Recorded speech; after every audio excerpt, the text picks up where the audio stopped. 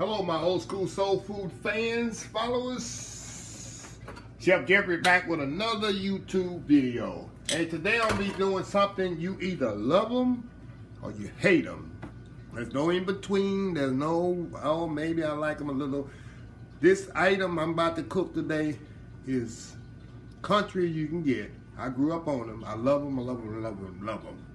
Some people hate them, hate them, hate them. So if you hate them, just keep move on with the video. Don't put no crazy comments or whatever. If you like them, let me know. I'm gonna be making old school chitlins or chitterlings, as you want to be proper. But I grew up on chitlins. I grew up where my daddy used to kill a hog and bring the chitlins fresh. We'd take hours cleaning out the corn and all that out of them. But let's get started here.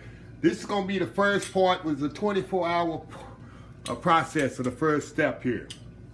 I have something that will Everybody have their different remedies and stuff. This one works. I've been using for 20 years. To make the chitlins, of course I got them all clean, got all the corn out of them. They bright and white. It took about four hours cleaning these things.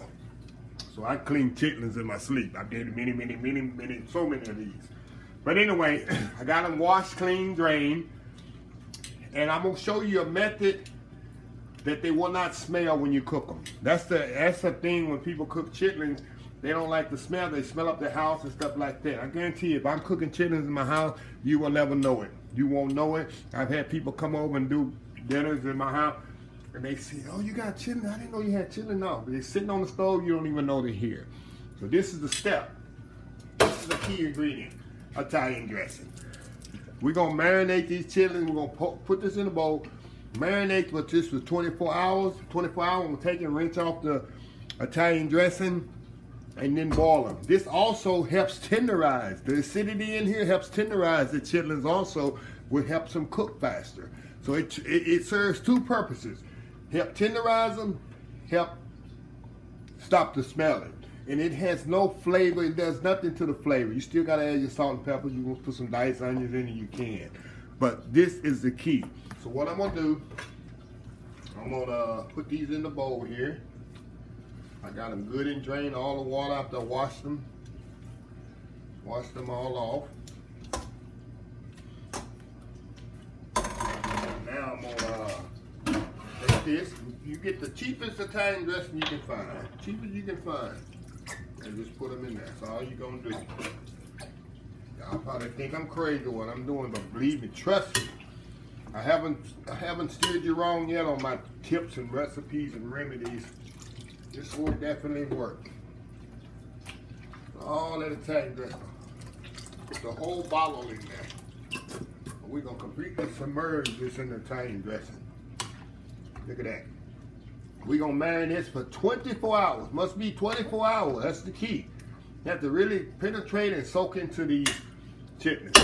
So what we gonna do, put it in the refrigerator, cover it, keep it covered for 24 hours. I will be back in 24 hours and we're gonna start the cooking process. But we'll be back in 24 hours, all right.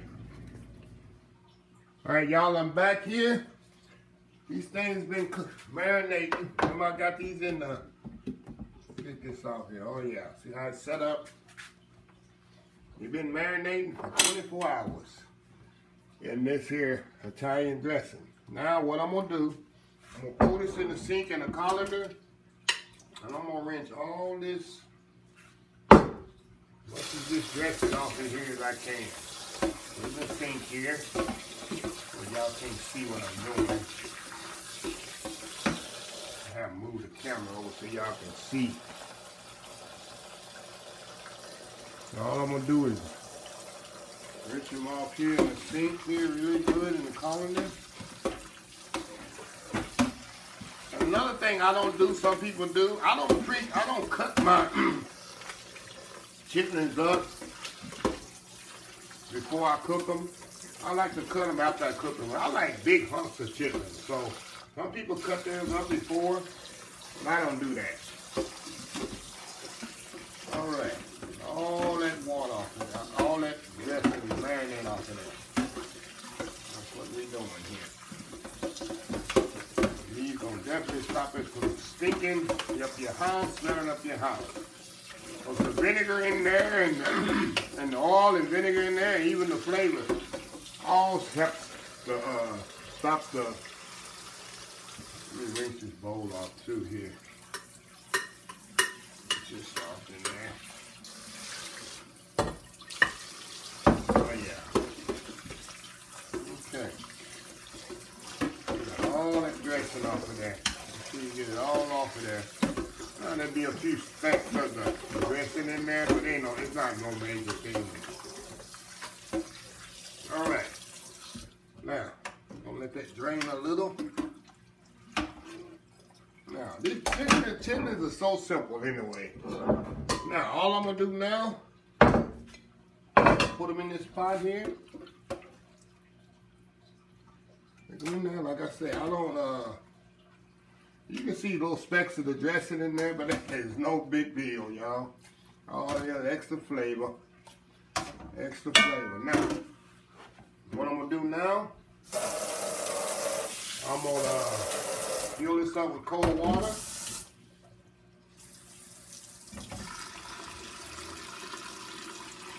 Cold water here.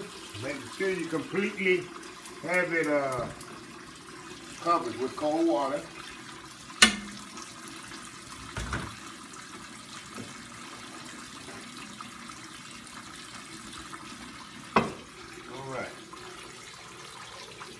That's it.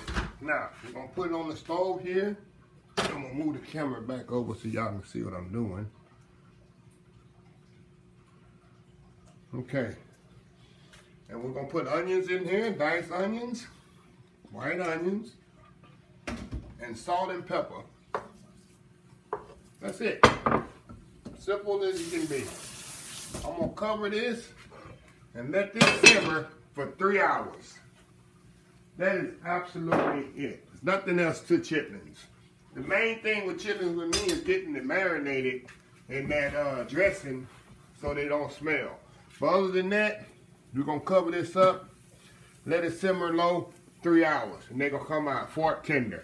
So we'll be back in about three hours, and then we'll show you how they come out. All right, y'all, we back here, and we're gonna see here. See them chitlins, how they're simmering? These things are ready, y'all.